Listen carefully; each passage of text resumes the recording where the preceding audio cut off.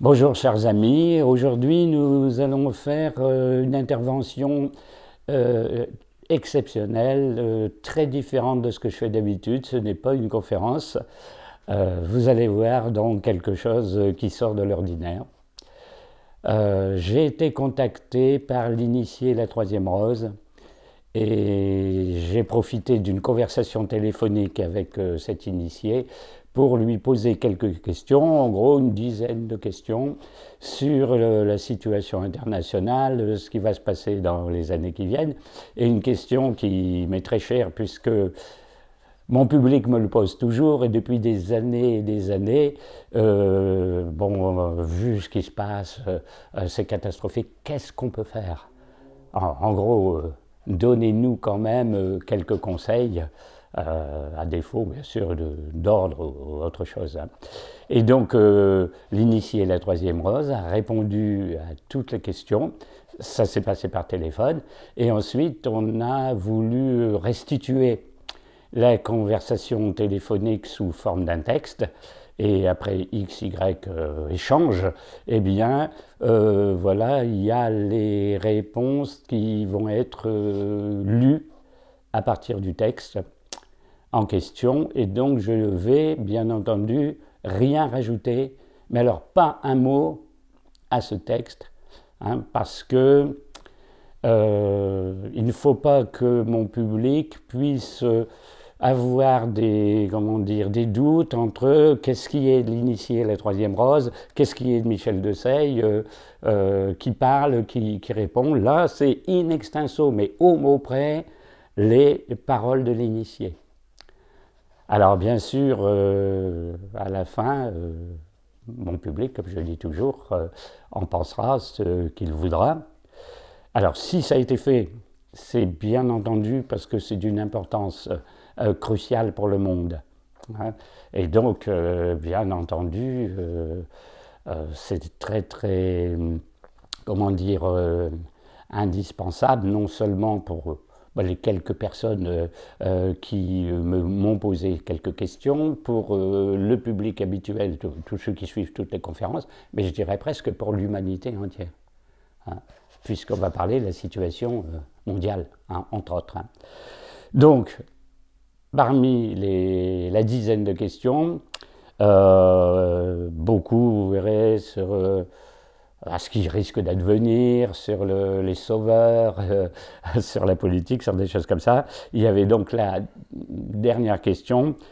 Les humains angoissés voudraient faire quelque chose.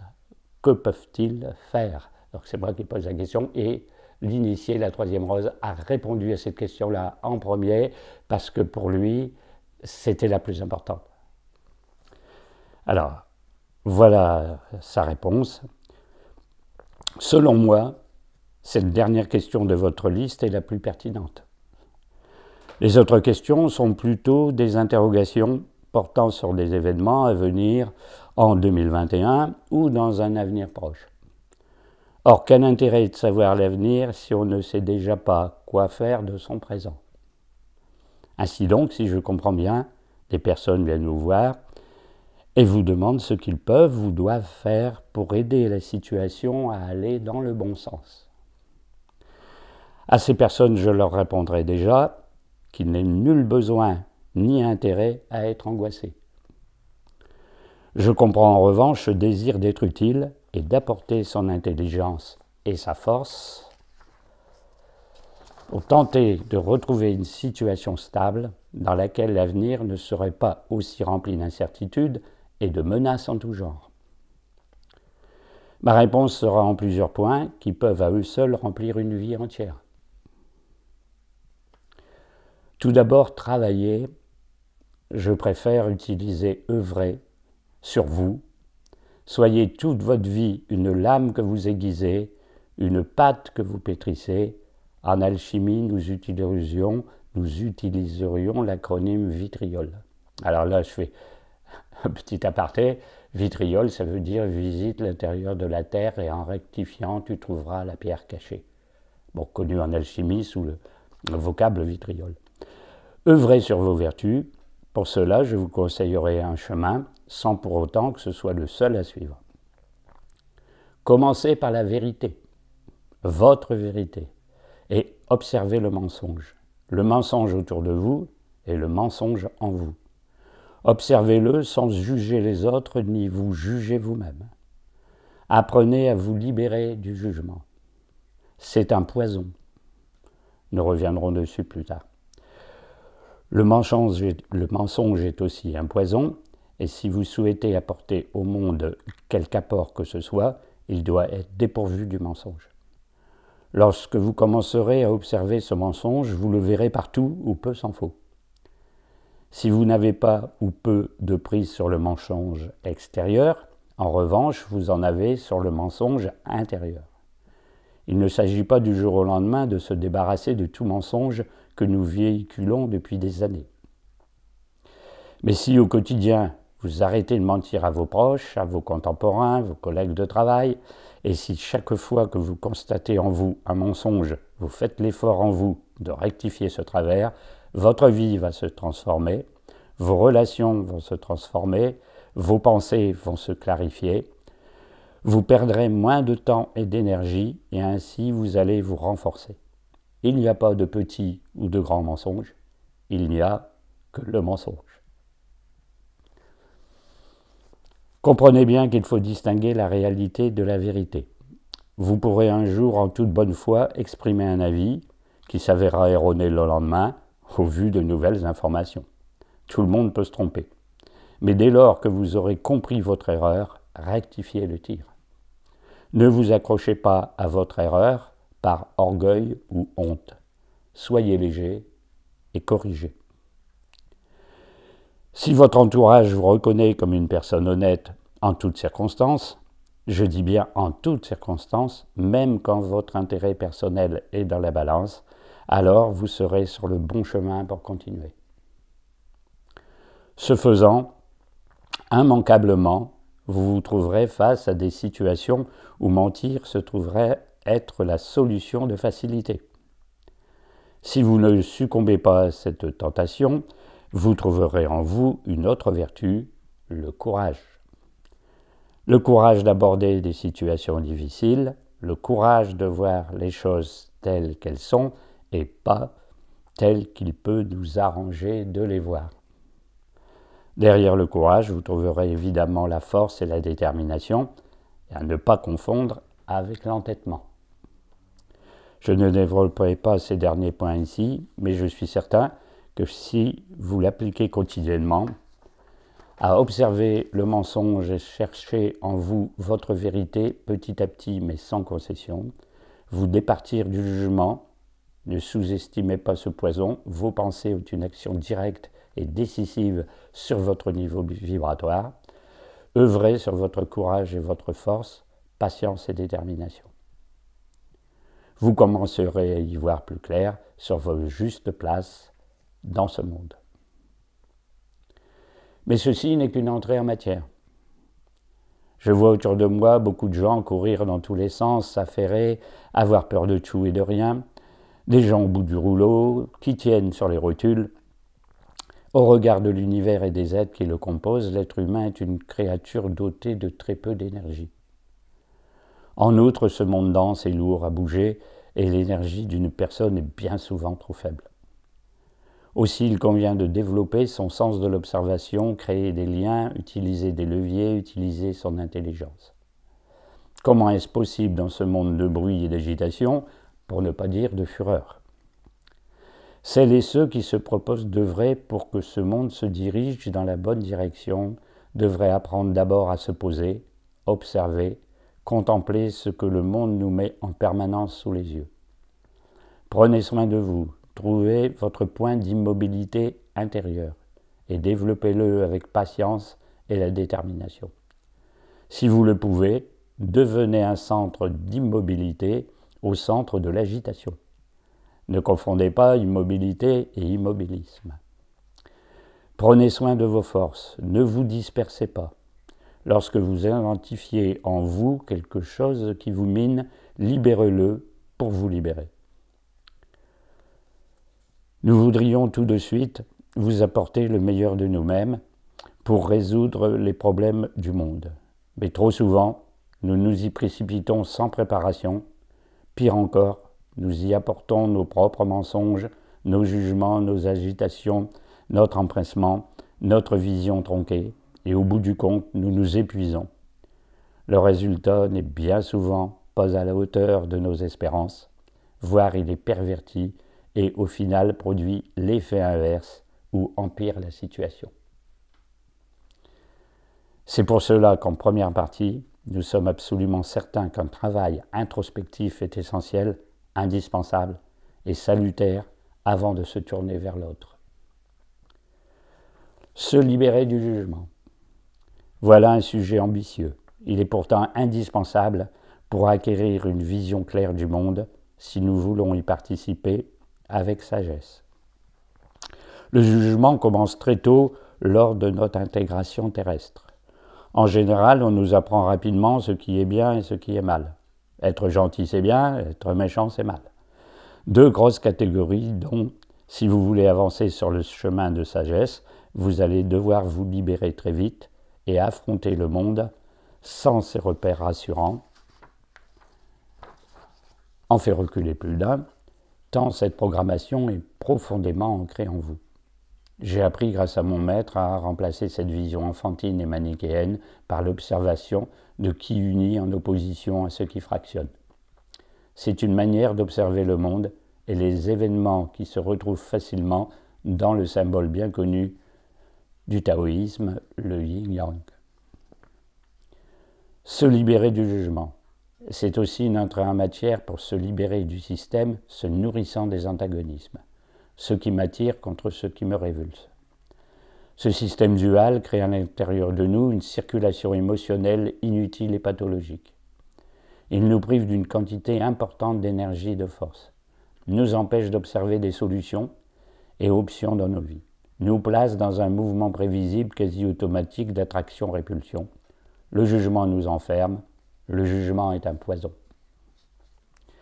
Se libérer du jugement vous permet d'embrasser n'importe quel sujet ou situation avec neutralité et immobilité intérieure. Ainsi votre regard, vos sens, votre intelligence appréhendent le monde avec une acuité qu'autrement vous ne soupçonneriez même pas. Se libérer du jugement de l'autre est aussi de l'idée que vous faites que l'autre porte sur vous est un pas décisif vers votre propre libération et votre émancipation. Oui, en effet, le sujet principal va se tourner vers une question fondamentale, votre libération et votre émancipation, ou votre aliénation et asservissement. La question de la libération et émancipation est un très vaste sujet qui pourrait nous emmener au-delà de la condition humaine et de ses contingences. En effet, cette rectification nous conduit à la question de la libération de l'âme humaine à travers les cycles de réincarnation et du karma. Sujet généralement très mal compris, voire du rôle de notre plan vibratoire au sein de notre planète Terre et du vaste univers qui l'entoure aussi bien dans les trois dimensions, plus le temps et la gravité connus, et très mal connus pour les deux dernières. Nous resterons donc pour cet entretien sagement dans notre enveloppe terrestre, ce qui est déjà pas si mal si on s'y applique. Mon cher Michel, vous avez commencé votre question avec ces mots les humains angoissés. Et c'est là tout le nœud du problème. L'angoisse, la peur, le rapport à la vie et à la mort, au sens que nous aimerions donner ou trouver à notre présence sur Terre et à ce qu'il y a après la vie sur Terre. Tout ceci nous ramène à notre rapport à la peur, la peur sous toutes ses formes, pour n'en citer que quelques-unes des plus courantes, la peur de mourir, la peur de souffrir, la peur d'être seul, la peur de l'échec, la peur de manquer, etc. Il importe pour celles et ceux qui veulent participer à l'amélioration de la situation terrestre de s'émanciper de la peur autant que possible. Et c'est plus facile à dire qu'à faire.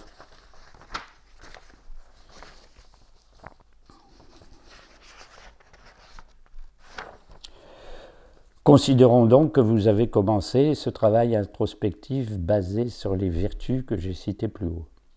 Armé du désir ardent de vérité, d'un courage qui commence à se tenir fermement sur ses pieds, débarrassé d'un jugement incombrant et inutile, vous voilà prêt à aller retrouver le Minotaure au centre du labyrinthe, cette bête qui déteste la lumière et qui se trouve en chacun de nous. Il vous faudra résoudre sans concession aucune le problème du mal intérieur. Et vous ressortirez un jour victorieux de cette rencontre avec une part de vous-même, vous en serez grandi, vous vous connaîtrez beaucoup mieux, vous connaîtrez vos forces, vous serez transformé et surtout, surtout, vous commencerez à progresser sans l'ombre d'un doute sur le chemin de la libération. Et bientôt, vous serez enfin prêt à vous tourner vers les autres pour apporter une aide réellement efficace et en pleine conscience. Vous trouverez peut-être que cette œuvre est ingrate, que le temps presse et que la tâche est incommensurable. Mais les règles de notre monde sont ainsi faites. Vous devez œuvrer intérieurement avant que d'œuvrer à l'extérieur. Personne ne peut s'exonérer de ce cheminement et c'est une bonne chose. Je pourrais encore continuer longtemps à approfondir ce sujet tant il est vaste et essentiel, mais j'espère que nous aurons d'autres occasions pour ce faire.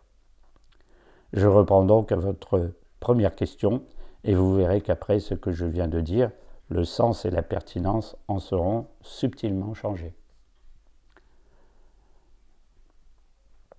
Alors ensuite donc viennent les questions sur euh, la situation. Y aura-t-il une crise financière dans l'année? La crise financière est en route depuis de nombreuses années. Depuis la crise de 2008, et en dépit des vœux pieux des politiques, les banques ont encore aggravé le problème. Elles sont prises à leur propre jeu dans un système concurrentiel qui n'a d'égal que la cupidité des acteurs financiers. Les banques centrales sont elles aussi prises au jeu pour d'autres raisons. Mais le chantage effectué est résumé par too big to fail. Donc là, je traduis, ça veut dire en gros euh, euh, trop grosse pour chuter. En gros, tellement importante qu'ils ne peuvent rien, rien, rien leur arriver. Les chiffres de la finance mondiale et de l'économie n'ont plus aucun sens si on les compare à une lecture académique. Selon moi, la crise est déjà là, mais tout est fait pour maintenir tant bien que mal l'économie des pays encore un peu. En 2021, la probabilité d'une explosion de la crise financière et d'un arrêt temporaire de l'économie mondiale est très forte, plus qu'elle ne l'a jamais été. Des forces très puissantes et impliquées sont sur le champ de bataille. Et celui-ci est singulier, car ce ne sont pas deux camps qui s'affrontent, mais plusieurs, et qui n'agissent pas avec les mêmes leviers, ni nécessairement sur les mêmes plans. Une chose est certaine, tous les éléments nécessaires à l'explosion de la crise sont réunis. Son déclenchement ne tient qu'à certaines manches technologiques perdues ou remportées par un camp ou un autre, et qui décidera en grande partie du chemin général qui s'ensuivra. La question demeure toujours à un niveau que vous ne pouvez pas imaginer, émancipation ou asservissement de l'humanité. Aladdin n'est plus le bon génie de notre imaginaire.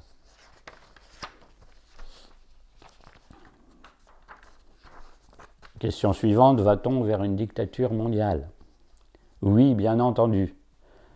Cela répond un peu à la question précédente. Tout l'espoir repose sur vous, sur l'humanité, sur sa capacité à entreprendre un travail sur elle-même ou pas. S'il n'y a pas de réveil, alors vous continuerez à dormir et nous n'y pouvons rien. L'humanité a des choix à faire auxquels nous ne pouvons pas nous substituer. J'ai entendu une phrase qui a tendance à tourner en ce moment. Il est temps que la peur change de camp. Pour moi, c'est une phrase imbécile. Tout le monde a peur de tout le monde. N'imaginez pas que les pseudo-élites n'ont pas peur de la masse du peuple. Ils sont pétrifiés de trouille. Il en est de même pour tous les dirigeants, tous les guides des grandes religions. Cette phrase est sans sagesse, c'est-à-dire il est temps que la peur change de camp, cette phrase est sans sagesse. Il n'est pas temps que la peur change de camp, il est temps que la peur quitte le cœur des hommes avant qu'elle ne les tue jusqu'au dernier. Il est temps que la peur quitte le cœur des hommes avant qu'elle ne les tue jusqu'au dernier. Je voudrais vous donner quelques conseils pour faire les bons choix. Soyez le plus détaché possible des émotions, entraînez vos esprits à trier le bon grain de livret, soyez lucide, et lorsque le temps de l'action est là, soyez déterminé. Va-t-il y avoir un événement colossal qui va faire un confinement complet sur plusieurs jours et sur toute la Terre? Réponse de la troisième rose, pas à ma connaissance. Vous jouez beaucoup à vous faire peur et ce n'est pas la bonne direction à prendre. Le pape est-il le dernier pape, comme le dit la prophétie des papes Beaucoup de prophéties ne se réalisent pas, ou pas comme on l'imaginait. Le pape actuel est en charge de décisions graves qui auront des conséquences importantes sur l'Église et le monde catholique. Il appartient au Vatican d'appliquer le rythme qu'il souhaite à l'application des décisions entérinées. Peut-être sera-t-il le dernier pape qui conduira l'Église telle que nous la connaissons depuis des siècles. Il y aura un autre pape, mais autrement. C'est ma lecture de la situation à ce jour. Y a-t-il un sauveur religieux? Non. Arrêtez d'attendre un éventuel sauveur descendu de je ne sais où pour faire venir le, pour faire le travail à votre place. Vous êtes votre propre sauveur. Les religions n'ont pas vertu à sauver le monde. Si c'était le cas, cela se serait produit depuis longtemps. Les hommes ont quasiment toujours fait un mauvais usage des textes originaux légués par les initiés. L'attrait du pouvoir, la cupidité ou tout simplement l'ignorance ont toujours fini par pervertir le sens originel des textes fondateurs.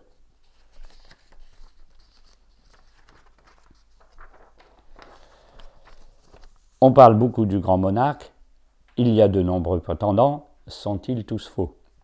La troisième rose a répondu, la réponse est dans la question. Tout ceci n'est que folie humaine. C'est pathétique. Ne perdez pas une seconde de votre temps avec ces imposteurs. Si un jour le grand monarque devait se montrer, il n'aurait pas besoin de s'annoncer, il serait. Nostradamus est un partisan du grand monarque. Est-ce une mauvaise interprétation? Donc, troisième rose a répondu, les centuries de Michel de Notre-Dame ne sont pas utilisées correctement et comme vous le savez, elles sont incomplètes. Cela ne veut pas dire que les informations tant recherchées s'y trouvent. Cela veut simplement dire que vous n'avez pas l'ensemble du message d'un objet dont l'emploi ne vous est pas destiné. Vous perdez du temps dans des labyrinthes et des énigmes. Quand bien même vous devriez la juste information, Qu'en feriez-vous? Vous iriez vous poster à tel endroit en attendant de voir arriver le grand monarque? Et puis? Si cela vous intéresse de creuser dans cette direction, allez-y, mais n'en attendez rien qui vous fera progresser. Va-t-il y avoir des catastrophes naturelles majeures? Donc l'initié a répondu, question incomplète, dans quelle période de temps envisagez-vous cette question? Vous jouez encore à vous faire peur les changements brutaux se produisent régulièrement sur cette planète. Le plan vibratoire sur lequel l'humanité existe aujourd'hui penche en faveur du chaos et donc des bouleversements. La Terre vit, elle bouge, ça crée des volcans, des tremblements de terre, des raz-de-marée, nobis sub soleil, euh, ce qui signifie, comme tout le monde sait, rien de nouveau sous le soleil. Y aura-t-il un événement très important pour l'élection présidentielle en France de 2022 Qu'entendez-vous par surprenant? Que les Français se réveillent et décident de prendre leur destin en main, je veux bien être le premier surpris. Selon moi, le sort de la France est scellé depuis quelques années. Il n'y aura pas de rebond miraculeux. La France continuera de s'appauvrir. Elle sera l'un des plus grands perdants des pays européens dans les prochaines décennies. Trop de mauvais choix ont été pris depuis trop longtemps et rien ne laisse présager que les intérêts de la France seront prochainement placés en priorité. Les Français ont besoin de retrouver une unité, et ce chemin leur est absolument rendu impossible par l'intelligence des lobbies et des think tanks aux ordres. Les think tanks, c'est des groupes de pensée euh, des lanceurs d'idées, etc. De, groupes de soi-disant euh, spécialistes. La flamme se déplace vers l'Asie. Nous serons bientôt dans l'ombre, nous le sommes déjà, mais trop arrogants et peut-être aussi trop lâches pour être lucides.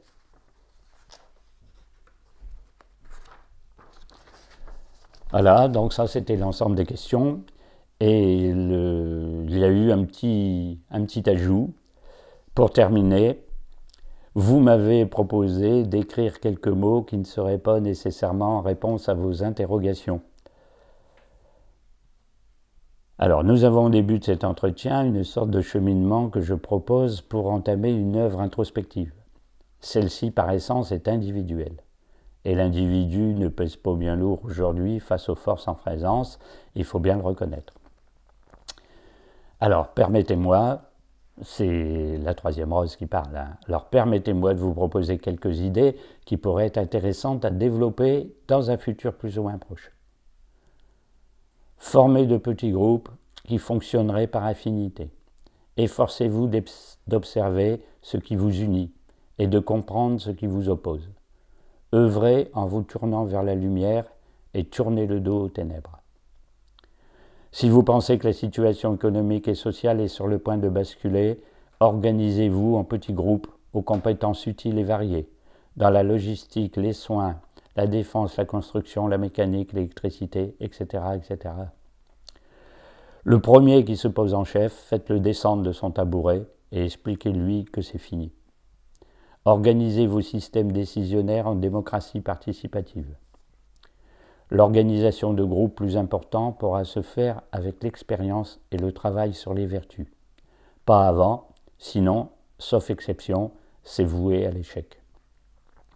Partagez, réfléchissez, pensez par vous-même, cultivez-vous, partagez, élevez-vous, étendez-vous vers les autres, comprenez l'autre, enrichissez-vous de vos différences, partagez, contemplez le monde, comprenez-le et libérez-vous.